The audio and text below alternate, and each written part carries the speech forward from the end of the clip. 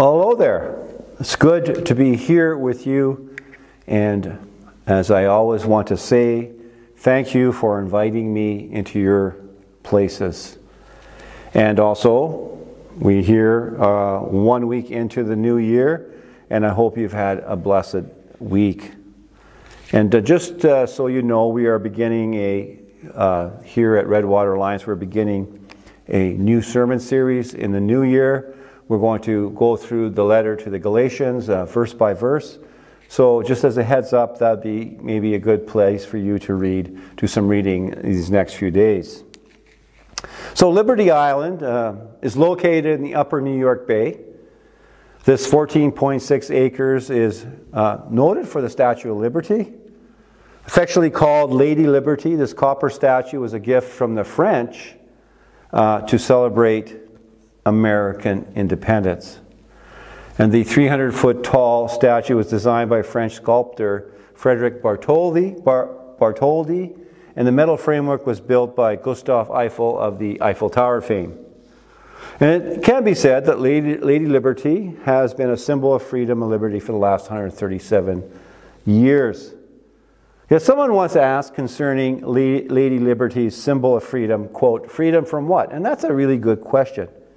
When we think about the founding founders of the United States, they would have had a particular oppressor in their minds in their pursuit of freedom and liberty, and that would have been English rule, the rule of King George. David Mathis, who is the executive editor of desiringgod.com, uh, would suggest that, quote, the cry of liberty is far more ancient than modern liberal, liberalism.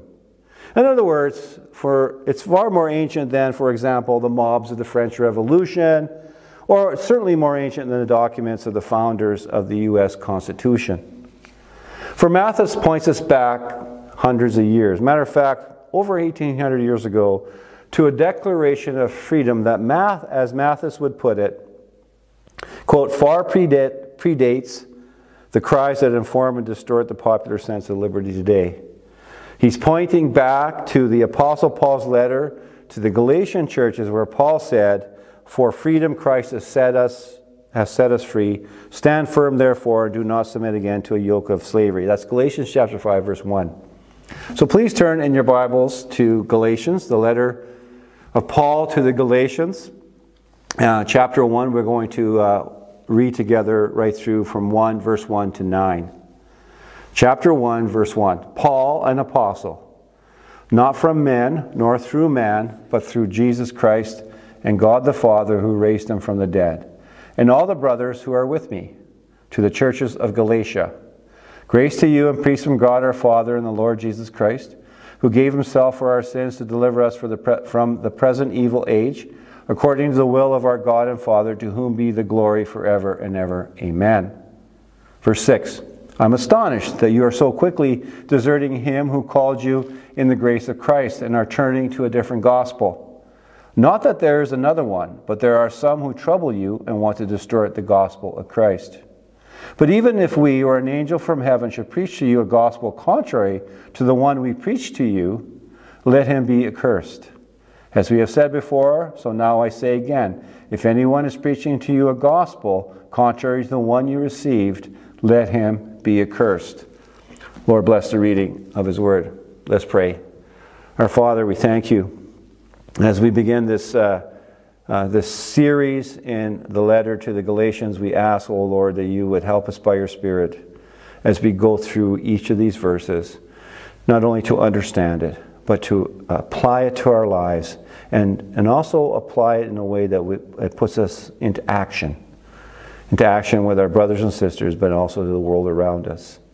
And we want to do all this, Lord, for your glory. And we pray this in Jesus' name. Amen. So, as we move further into this new year with this uh, sermon series, God will be our leader and instructor as we go verse by verse through Galatians. And I would encourage you to read through this letter in one sitting many times over. It's only six chapters, it's not that long. Saturate your minds and, with the message of Galatians, and, and you won't be disappointed. In my preparation, um, I was pleasantly reminded, actually, I was kind of excitedly reminded of the importance of Galatians and how instrumental it was in Martin Luther's transformation. Paul's clear teaching in Galatians of the doctrine of justification by grace alone through faith alone sparked and lit the fires of the Protestant Reformation so long ago. And friends, Galatians continues today to remind us of the freedom we have because of Jesus Christ. Freedom from sin's punishment and power, freedom from the sting of death. And friends, not only freedom from, but freedom to. Freedom to have godly relationships. Freedom to serve others as God has called us to. Freedom to love as God has loved us, and, and so much more. So, as we go through these 149 verses of Galatians, my prayer is that we will not only discover freedom from and freedom to, but that we would embrace wholeheartedly the freedom we have in Christ alone. So let's, we need to step back a little bit in time to the Apostle Paul's first missionary journey, which is recorded for us in, in the book of Acts, um, in chapter 13 and 14. We also should keep in mind that the early years of the church were predominantly made up of Jewish Christian believers. And as the persecution against these Jewish Christians would increase in Jerusalem, they would disperse and leave Jerusalem to other points in the empire. And one such location was north of Jerusalem in what was then known as Syria and to a place called Antioch. In Acts chapter 13 and 14, we find that it was at Antioch, Syria, that the Apostle Paul was set apart to go to the Gentiles with the gospel message. And Luke records this event for us in chapter 13 of Acts, verses 2 and 3, where we read, While they were worshiping the Lord and fasting, the Holy Spirit said, Set apart for me Barnabas and Saul for the work to which I have called them. Then, after fasting and praying, they laid their hands on them and sent them off. So, Paul and Barnabas set off on the first missionary journey that's recorded for us in the book of Acts. And along the way, Paul and Barnabas would visit a number of locations. And, f- and they would visit five towns in the area that was then known as Galatia, which is modern day Turkey. They visited Pisidian, Antioch, Galatia or Antioch, Turkey, not Syria, Iconium, Lystra, and Derbe. And it was at the and as it was the habit of Paul, pardon me on that one, that he would go first to the Jews and then to the Gentiles. So the long and short of it, churches were planted by Paul and Barnabas on this first missionary journey, and for our purposes, those five that I just mentioned in Galatia. This letter was written to the churches in Galatia. With this background in mind, let's turn our attention to Paul's letter to the Galatians. Verse 1, we find Paul's typical introductory greeting. Paul, an apostle. He did this in all his letters. Paul was an apostle of Jesus Christ. He was set aside by Christ to bring the gospel primarily to the Gentiles. And Luke gives us the account of Paul's conversion in the book of Acts, chapter 9. We see there in chapter 9 that Paul was on his way to Damascus with letters of authority to arrest the followers of the way. That's what they were called in the early days. And along the way, he encountered Jesus Christ. And in that same event, we find that Jesus, speaking to the faithful Ananias about Paul, said this in Acts 9:15. He, that is Paul, is a chosen instrument of mine, that is Jesus, to carry my name before the Gentiles and kings and the children of Israel. Paul was writing with the authority given to him as an apostle of Jesus Christ as he put it here in verse 1 not from men nor through man, but through Jesus Christ and God the Father. And I want to say on the aside, contrary to those in the church today who call themselves apostles, Paul was the authentic apostle. Today's so called self proclaimed apostles are not authentic apostles. They are imitations, they are fa- fakes, and they should be avoided. But of course, I digress. Back to our text. Verse 2, as I mentioned, alluded to earlier, tells us who Paul was writing to, to the churches in Galatia. And verse 3, Paul continues with a standard greeting that you would find in his other letters as well. Grace to you and peace from God our Father and the Lord Jesus Christ. Now we come to verse 4. And I want to park ourselves here for a few moments. So let's read verse 3 and 4 together. Grace to you and peace from God our Father and the Lord Jesus Christ. Now, verse 4 Who gave himself for our sins to deliver us from the present evil age according to the will of our God and Father. The IVP New Testament commentary comments that Paul here was at verse 4, quote, outlining the basic structure of his Christ centered message. So let's break this down together. Let's notice this phrase in verse 4 who gave himself for our sins. This is speaking about Jesus who did this. Paul here pointing to the sacrificial work of Christ on the cross. The sacrificial work of Jesus Christ on the cross is the epicenter, if you will, of Paul's gospel message. We could say this sort of in a negative sense, negative sense, pardon me, to make the point. No bodily death of Christ on the cross, no gospel of Christ. No gospel of Christ, no Christianity. Friends, the sacrificial death of Jesus Christ was, as the IVP put it so well, quote, the final answer to the problem of all our moral failure and guilt. And when one reads through Paul's letter, we find that the victory over sin accomplished by the cross of Christ is a major theme of his letter. Turn with me, if you will, to chapter 2, verse 20 and 21. There, Paul said this I've been crucified with Christ. It is no longer I who live, but Christ who lives in me. And the life I now live in the flesh, I live by faith in the Son of God who loved me and gave himself for me. I do not nullify the grace of God, for if righteousness were through the law, then Christ died for no purpose. We could also go to chapter 3, verse 13, and there Paul said this Christ redeemed us from the curse of the law by becoming a curse for us. For it is written, Cursed is everyone who is hanged on a tree. You could also go to chapter 4, verse 4. You go to chapter 5, verse 1, 11, and 24, and to other places in his letter. So, Paul, throughout the letter, has one message to the Galatians. The sacrificial death of Christ on the cross has dealt with the sin problem once for all. And because of this, you have freedom in Christ. Let's go to the next phrase to deliver us from the present evil age. Here, Paul points to the purpose of Christ's sacrificial death to deliver or to rescue all who believe in the death of Christ on the cross. And let's keep in mind that this deliverance, this rescue, was always part and parcel of God's redemptive plan and purpose. And Paul had this view in mind. For God has revealed his promised Messiah, Jesus Christ, at the right time in history. Christ's death and resurrection has forever, forevermore changed the course of human history, changed human history. The cross of Christ has initiated God's new creation. Paul would say it this way in his second letter to Corinth, chapter 5, verse 17. Therefore, if anyone is in Christ, he is a new creation. The old has passed away, behold, the new has come. And the question is, where is this from?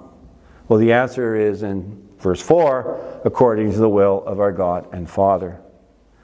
So, to recap, a major theme that we find here in Galatians is the sufficiency of Christ's death on the cross to deal with the sin of the whole world as described for us in John 3 16 and 18. And unlike the continual re sacrificing of Jesus Christ in the Roman Catholic Mass, Christ's death on the cross is not only sufficient to deal with the sin problem completely, but Christ has dealt with it once for all as the writer to the Hebrews would say, we have been sanctified through the offering of Jesus Christ once for all. Hebrews chapter 10, verse 10. And this sufficient one time sacrifice of Christ was according to the will according to the will of our God and Father and for his glory. Not from, as Paul would put it in verse 1, not from man nor through man, but through Jesus Christ and God the Father who raised him from the dead. Well, now we come to verses 6 to 9.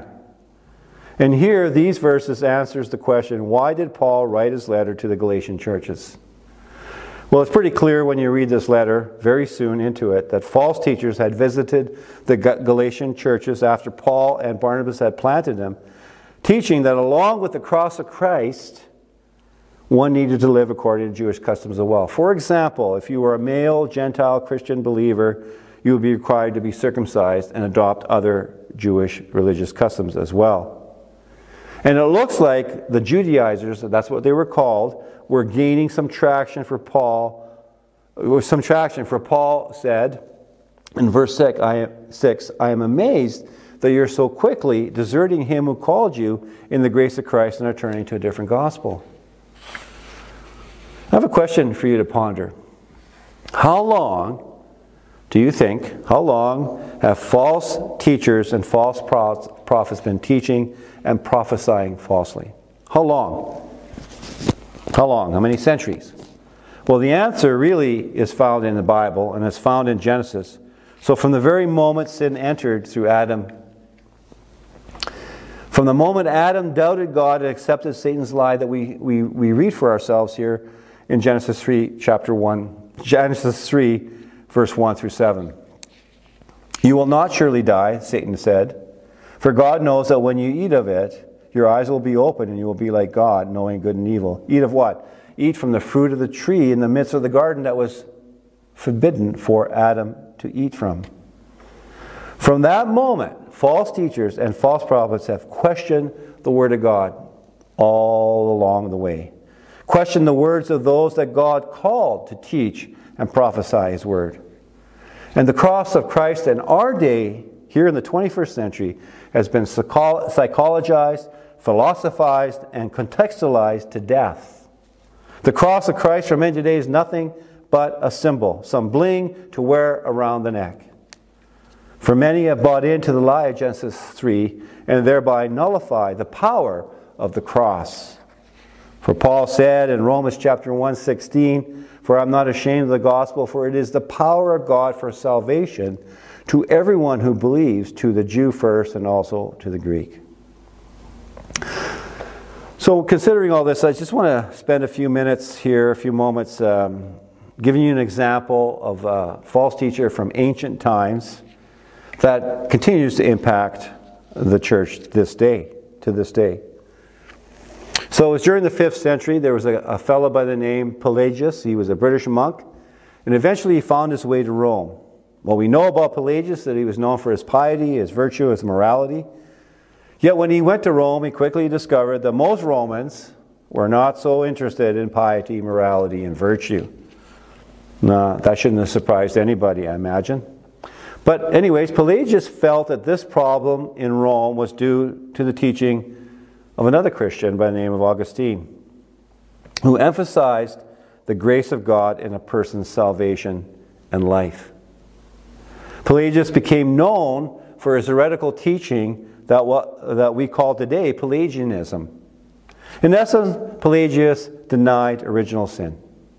He taught that every person was born morally neutral. People can sin, but also people are able not to sin.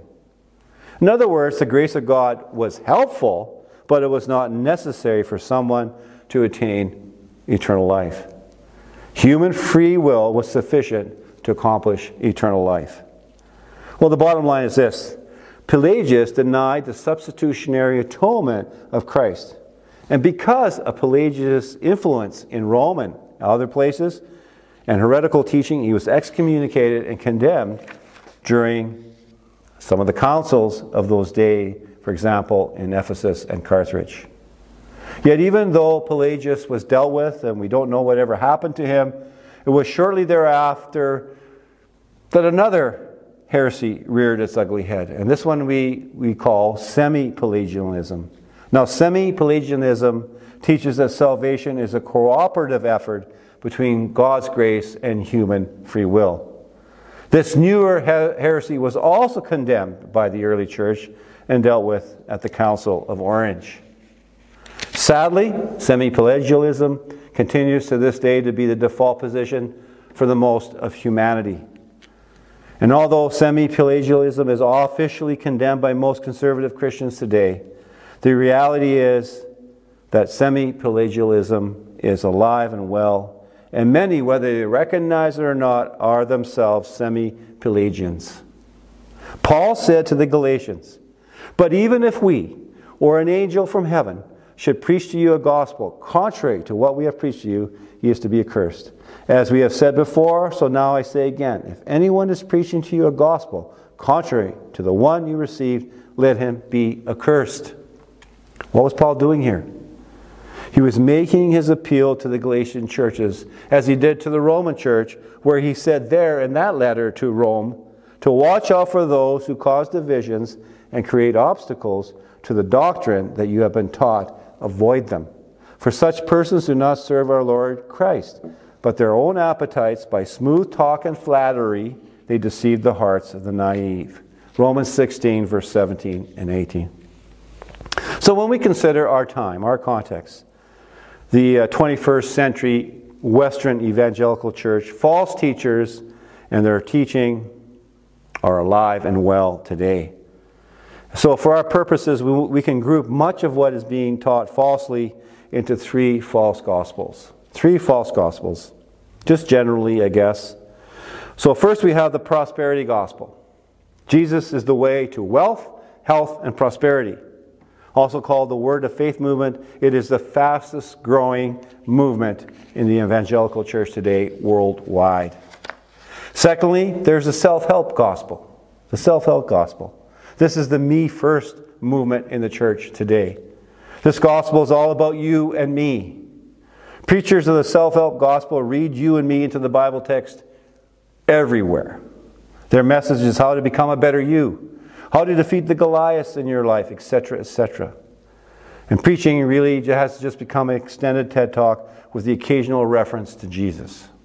And some of it is outright outrageous and ridiculous. Thirdly, there is the political gospel. One article described the political gospel in this way quote, This gospel is not dangerous because of what one claims to believe, but because of what, of what one believes functionally. The key word there is functionally. Yes, one can claim Jesus is Lord, yet place their hope in a political party and their candidates. Well, friends, what's happening with these three false gospels in our context today is each of these false gospels elevate man, elevate humanity, and bring down, bring down Christ to human level. The Apostle Paul called the Judaizers of his day false teachers and mark them to be avoided. We would be wise to do likewise today with those who preach another gospel. As I bring this to a close, I, I wanted to share uh, a quote from Charles Spurgeon. Charles Spurgeon was a Baptist preacher in the 1800s. He was, uh, became known as the Prince of Preachers, and, and his life is a story is a remarkable story uh, of, of, pain and, and, uh, and depression and the grace and mercy of God throughout all of it. And the quote goes like this Human wisdom delights to trim and arrange the doctrine of the cross into a system more artificial and more congenial with the depraved tastes of fallen nature. Instead, however, of improving the gospel, carnal wisdom pollutes it until it becomes another gospel and not the truth of God at all. Friends, let us pray together. Lord God, thank you so much for this letter to the Galatians, written so long ago to a people living so long ago in a world so far away from where we are here in Canada. And I pray, Lord, that we would heed the words of Paul's gospel that Christ is sufficient once for all, for the sin of the world, for my sin, for anyone's sin. Once for all, sacrificed. No more needs to be re sacrificed day in and day out. Lord, as uh, Spurgeon said, the carnal mind wants to navigate and pollute the true gospel of Christ and the cross. Help us to not do that, Lord, in these days. We pray in Jesus' name. Amen. Thank you so much for. Um, being or having me with you. Uh, just have a great day. Uh, shalom.